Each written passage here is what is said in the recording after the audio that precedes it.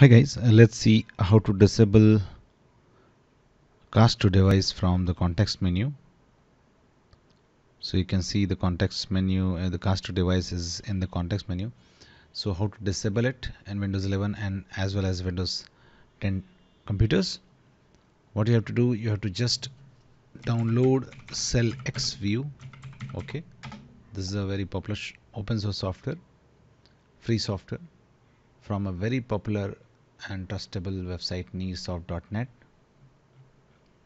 This is a very old website providing free tools like this which are used at multiple uh, by multiple users. So just download okay and then after downloading extract it. Once you have extracted it just double click on SHEX view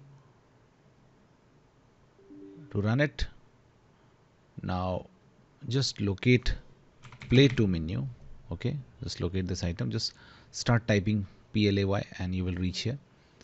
Just right click and choose disable selected items. Choose yes. And now just and now just restart your computer.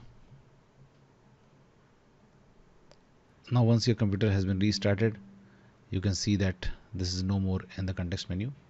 That's it guys. Please do like the video to support